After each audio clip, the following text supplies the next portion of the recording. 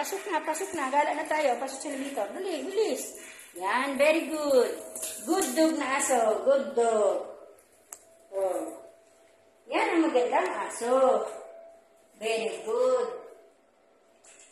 Okay, labas na. Dito na tayo. Labas. Dali. Dali. Ang galing. Ang galing. Halika dito. Dali.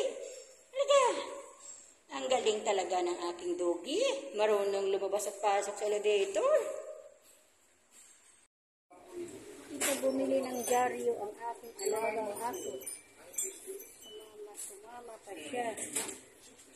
Kunin natin sukli. Okay, thank you. Ito kami ng litsong manok para sa aking alagang aso. Baliwa. Yan. O, Goldie, bibili tayong lechon ha. May siupaw pa. Kami sa Petron, sa gasolinahan, sa kakahanap sa dyaryo para kay Lola. Ah.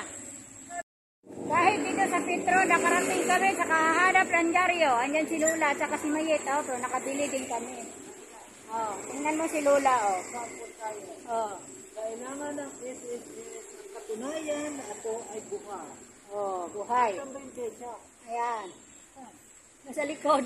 Ito. Ayan, oh, pizza. Oh, buhay pa yan, ha? Oh, tingnan mo.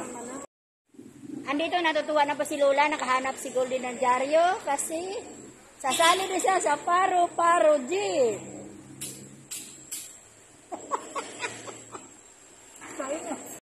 oh, sama-sama pa ang akong alaga.